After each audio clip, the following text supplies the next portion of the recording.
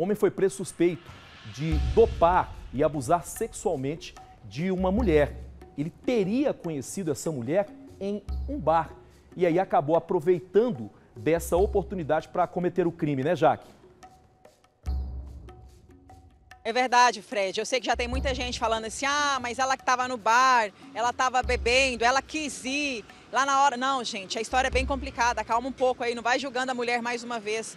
Ela estava com uma amiga, ela conheceu essa pessoa, a, a, a polícia está tá investigando como foi essa abordagem, como tudo aconteceu. E ela bebeu uma cerveja e até sentiu um gostinho diferente, mas ela não lembra mais de nada.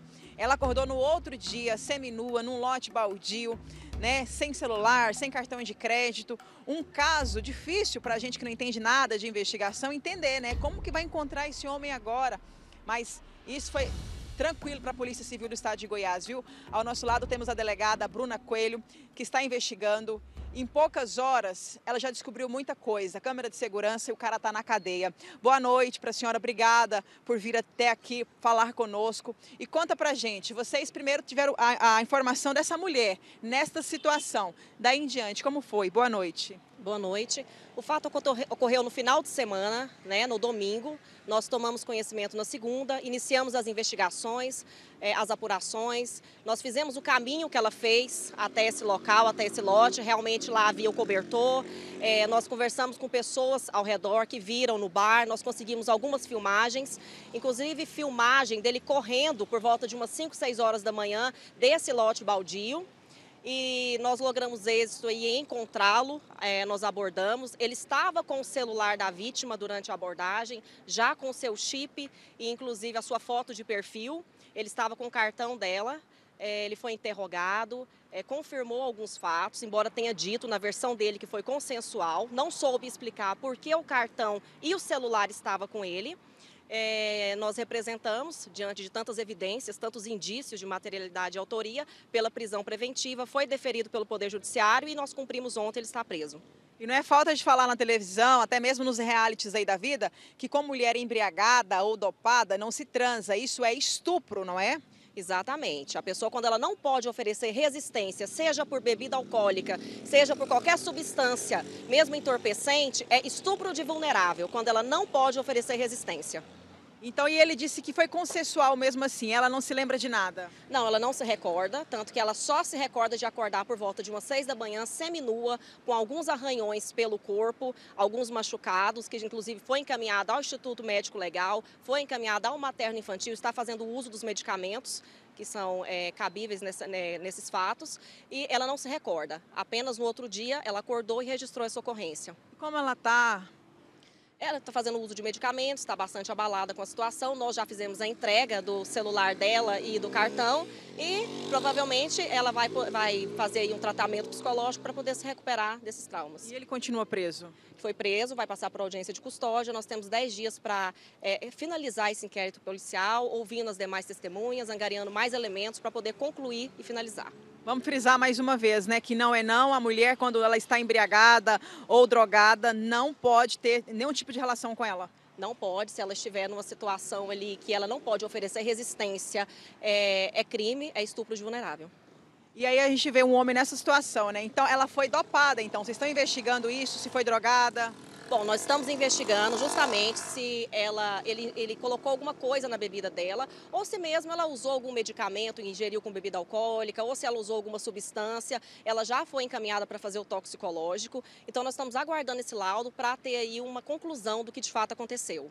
Essa amiga, até, até certo ponto, ela estava com ela, a polícia já identificou? Não, nós estamos identificando essa amiga, porque de fato ela estava no local, mas ela, ela, ela encontrou outro colega, pelo que nós sabemos, e ela ficou conversando com esse colega. Enquanto isso, a vítima conheceu esse rapaz e se envolveu com ele nesse momento. É, então para quem está julgando a bebida alcoólica, isso acontece com suco também, viu gente? É, às vezes a pessoa coloca lá um Boa Noite Cinderela no suco, na água da pessoa, no refrigerante. Então não vamos julgar, porque o primeiro passo é julgar a mulher, né, o Fred? A gente está cansado de ver isso. Exatamente, mas isso é cabeça de gente fraca, até porque não tem nada a ver com a roupa que ela usa, com o local que ela frequenta, o que ela faz da vida. Tem a ver sim com o mau caratismo, caratismo e, claro, acima de tudo, com a maldade humana. Simples. Simples, o cara vai lá, dopa a mulher, o cara vai lá, faz a barbaridade que fez. Agora, temos que mudar as leis nesse país. Temos que dar um jeito de punir, porque enquanto não houver punição exemplar, nós vamos ficar contando essas histórias horríveis que nós estamos contando aqui. Agora, já que eu não prestei atenção, me perdoe, mas esse homem, ele já tem outras passagens por crimes parecidos? Esse rapaz que foi preso, ele já tem outras passagens por crimes parecidos? Não, por crimes parecidos não. Ele tem uma passagem por receptação. E detalhe, ele pegou o celular dela, ele colocou o chip dele e a fotinha já era dele? Sim, a foto da tela era dele, o chip era dele, ele já estava utilizando o celular com os aplicativos do banco dele, como se fosse dele já. Como se tudo fosse ficar por isso mesmo? Exatamente. Não acreditou que fosse ser encontrado.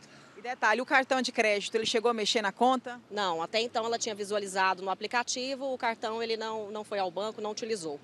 É, às vezes alguma mulher foi vítima também, pode procurar a polícia, né? A gente tem informações aí que tem gente que tem medo de ir na polícia, tem medo do criminoso.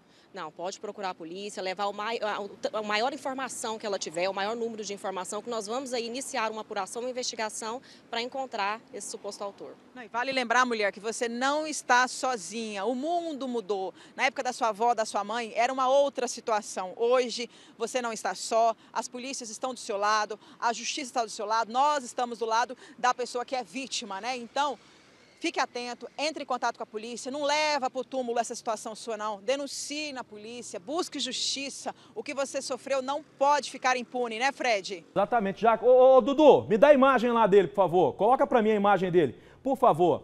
O pessoal fala de aparecer, mas o cara tá de costa, meu parceiro. Pois é, eu não entendi isso. Porque é o seguinte, um cara como esse aí tem que ser mostrado a cara dele. Porque nós temos noção de quantas vítimas podem aparecer daqui para frente? Porque se o cara fez isso, levou essa vítima para esse local que você está vendo, se procurar, vai achar mais gente. Se procurar, vai achar. Agora, hoje, eu tenho uma lei que se eu mostro o cara aqui, eu sou processado, eu não posso mostrar. Agora, o bandido está aí.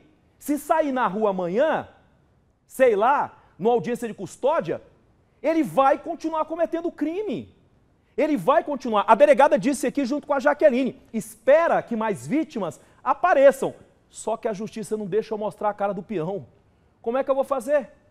Como que eu vou fazer? Ô Jaque, pergunte para a delegada como é que vai ser daqui para frente, como é que as investigações elas vão seguir daqui para frente, até para que a polícia descubra se realmente mais mulheres de repente foram vítimas desse monstro que nós mostramos aqui. Delegada, quais vão ser os próximos passos dessa investigação de agora para frente? Bom, nós vamos finalizar aí ouvindo algumas testemunhas, né, é, juntando mais vídeos que nós temos sobre o fato e é, nós já temos aí uma prova maior que encontramos ele com o celular da vítima, né, e o cartão, que trata-se de roubo, além do, do crime de estupro de vulnerável. E após essas diligências, já buscamos concluir esse inquérito para remeter para o Poder Judiciário.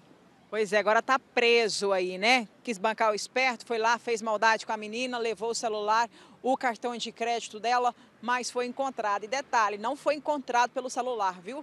Foi encontrado pela inteligência da Polícia Civil, Fred.